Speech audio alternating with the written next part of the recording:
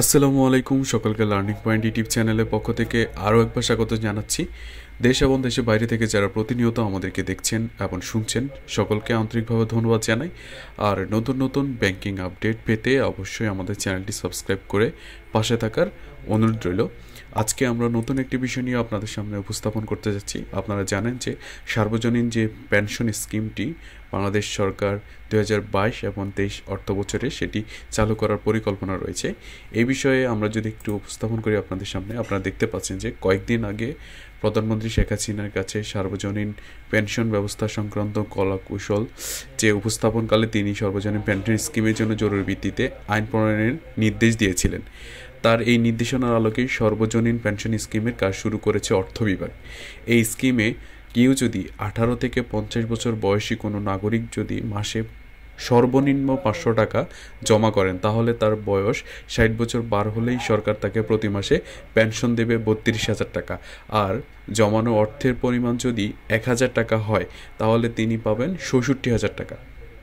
তো এছাড়াও যে বিষয়টি রয়েছে সেটা হচ্ছে যে আঠারো বছর বয়স থেকে আর তিনি এই সুবিধা পাবেন আশি বছর বয়স পর্যন্ত, ঠিক আছে?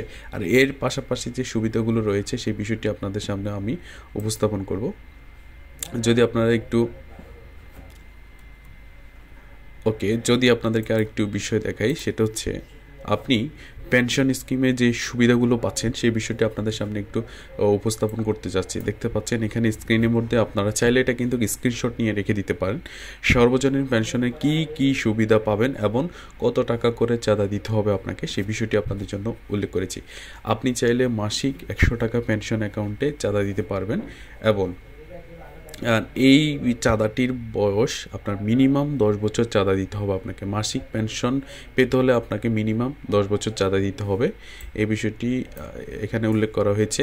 আর চাঁদা প্রতি মাসে জমা দিতে হবে। তবে প্রবাসীরা চাইলে, যারা বিদেশে আছেন বিদেশের ক্ষেত্রে কিন্তু এই বিষয়টি, আরেকটি বিষয় আপনাদেরকে আমি নিশ্চিত করতে চাই, সেটা হচ্ছে দুই এক ধরনের হচ্ছে সার্বজনীন বলতে এখানে বোঝানো হয়েছে যে আঠারো বছর থেকে যারা পঞ্চাশ বছর বয়স পর্যন্ত তারা কিন্তু পেনশনের আওতাভুক্ত হবেন এবং তারা পেনশন অ্যাকাউন্ট খুলতে পারবেন।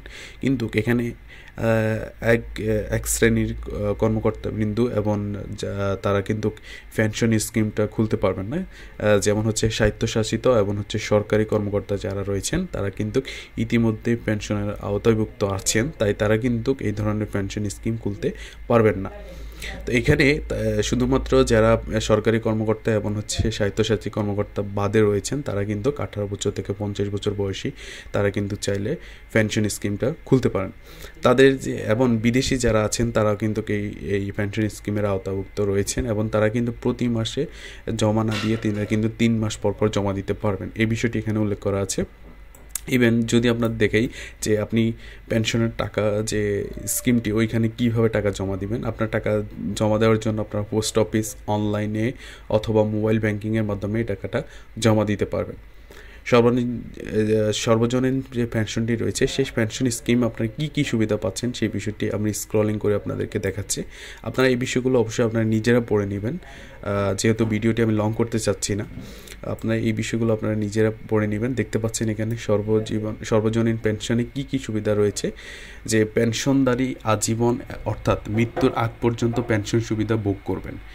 এবং কমপক্ষে দশ বছর চাঁদা দেওয়ার আগে পেনশনদারি মারা গেলে জমা করা অর্থ মুনাফা সহ তার নমিনিকে ফেরত দেওয়া হবে। অনেকে বলতে পারেন যে নমিন যদি পেনশনদারি মারা যায় তাহলে তার যে পেনশন পাওয়ার কথা ছিল সেই টাকাগুলো কোথায় যাবে? পেনশন জন্য, পেনশনের জন্য নির্ধারিত চাঁদা বিনিয়োগ হিসেবে গণ্য করে কর রেয়াতের জন্য বিবেচিত হবে এবং মাসিক পেনশন বাবদ প্রাপ্ত অর্থ আয়কর থাকবে। ওকে, তারপরে যদি দেখি আমরা যে নিম্ন আয়সীমার নিচে নাগরিকদের ক্ষেত্রে পেনশন কর্মসূচিতে মাসিক চাঁদার একটি অংশ সরকার অনুদান হিসেবে দিতে পারে। আসলে যারা নিম্ন আয়, তারা কি পেনশন স্কিমটা কীভাবে চালাবেন সেই জন্য কিন্তু সরকার অনুদান হিসেবে তাদেরকে একটি অংশ দিতে পারে। পেনশনদারির বয়স পঁচাত্তর বছর পূর্ণ হওয়ার আগে মারা গেলে জমাকারীর নমিনিকে বাকি সময়কালের মূল জমাকারীর বয়স পঁচাত্তর বছর। এখানে দেখতে পাচ্ছেন কিন্তু উল্লেখ করে দিয়েছে জন্য মাসিক পেনশন প্রাপ্য হবেন তাহলে এখানে একটি বিষয় লক্ষণীয় যে পেনশনদারির বয়স পঁচাত্তর বছর পূর্ণ হওয়ার আগে মারা গেলে জমাকারী নমিনি, যিনি জমাকারী ছিলেন তার নমিনি বাকি সময়কালের জন্য মাসিক পেনশন প্রাপ্য হবেন কিন্তু। ওকে? তারপর হচ্ছে পেনশন কর্মসূচিতে জমা করা টাকা এককালীন উত্তোলনের সুযোগ থাকবে না। যারা অনেকেই চিন্তা করতে পারেন যে পেনশন আপনারা যেহেতু প্রতি মাসে দিচ্ছেন, এই পেনশনটা জমা দেওয়ার হয়তো বা আপনারা এককালীন পেনশন উত্তোলন করতে পারবেন কি না সেই বিষয়টিকে কিন্তু এখানে নিশ্চিত করা নেই। আপনারা এককালীন উত্তোলন করতে পারেন না। তবে পেনশনধারী চাইলে তার জমা করা অর্থের সর্বোচ্চ পঞ্চাশ শতাংশ ঋণ হিসেবে তুলতে পারেন।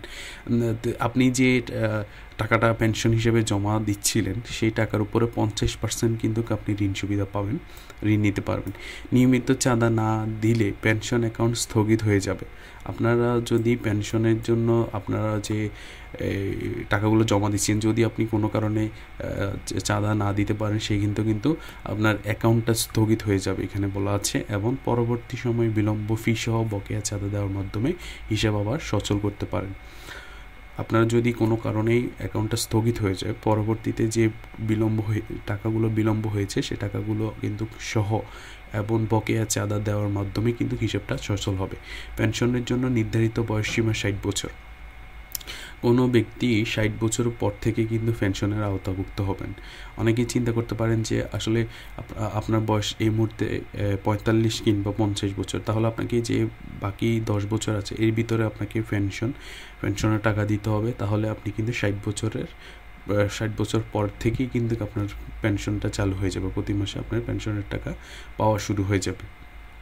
তো আশা করি বুঝতে পেরেছেন যে পেনশনের সুবিধাগুলো আপনি এখানে আমি উল্লেখ করেছি যতটুকু আমার সাধ্যে ছিল, আশা করি বুঝতে পেরেছেন। এখন আপনার পেনশন অ্যাকাউন্ট কীভাবে খুলবেন, কি, কী কাগজপত্র লাগতে পারে সেই বিষয়টি যদি আপনাদেরকে একটু বলি, আপনারা কিন্তু একটি বিষয় এখানে নিশ্চিত হতে পারেন। সেটা হচ্ছে যে পেনশন অ্যাকাউন্টটি খোলার জন্য কিন্তু আপনার একটি ভোটার আইডি কার্ডের প্রয়োজন হবে এবং হচ্ছে আপনার এক কপি ছবি এবং একটি ভেরিফাইড মোবাইল নাম্বার প্রয়োজন হবে। এই মোবাইল নাম্বারের মাধ্যমেই কিন্তু আপনার অ্যাকাউন্ট নাম্বারটি এখানে দিবে এবং পরবর্তীতে যদি আপডেট আসে, সেই আপডেট আমরা আপনাদেরকে জানিয়ে দেবে। এখানে একটি বিষয় লক্ষণীয় যে, আপনার অ্যাকাউন্ট নাম্বারটি হবে কিন্তু এখানে যে আইডি নাম্বারটি রয়েছে ভোটার আইডি কার্ডটি রয়েছে। তো ভোটার আইডি কার্ডের যে ভোটার আইডি কার্ডের নাম্বারটি রয়েছে, এই নাম্বারটি কিন্তু আপনার পেনশন স্কিমের অ্যাকাউন্ট নম্বর হবে। তো এটা কীভাবে জমা দিবেন? টাকাটা অবশ্যই মোবাইল ব্যাঙ্কিংয়ের মাধ্যমে জমা দিবেন অথবা অনলাইন ব্যাঙ্কিং অথবা যে আপনার পোস্ট অফিস আছে সেই পোস্ট অফিসের মাধ্যমে জমা দিবেন। আর অ্যাকাউন্টটা কীভাবে খুলবেন, এই এই নিয়ে এখনও পর্যন্ত কোনো সার্কুলার আসেনি। যদি আসে, পরবর্তী সময়ে আমরা আপনাদেরকে জানিয়ে দিব। আশা করি ভিডিওটি ভালো লাগবে। আর যদি কোনো কোথাও যদি বুঝতে সমস্যা হয়, সেই বিষয়টি আমাদেরকে অবশ্যই প্রশ্ন করবেন। আমরা অবশ্যই আপনাদেরকে জানিয়ে দেব। আজকের জন্য ভিডিওটি এখানে শেষ করতে হচ্ছে। আশা করি ভিডিওটি ভালো লাগলে অবশ্যই লাইক কমেন্ট শেয়ার করবেন। ইভেন হচ্ছে যারা ফেসবুক থেকে আমাদের ভিডিওটি দেখবেন, তাদের অবশ্যই লাইক কমেন্ট করবেন এবং শেয়ার করবেন ভিডিওটি। সকলকে অসংখ্য ধন্যবাদ জানিয়ে আজকের জন্য বিদায় নিচ্ছি। দেখা হচ্ছে নতুন কোনো ভিডিওতে। সবাই ভালো থাকবেন। আসসালামু আলাইকুম রহমতুল্লাহ।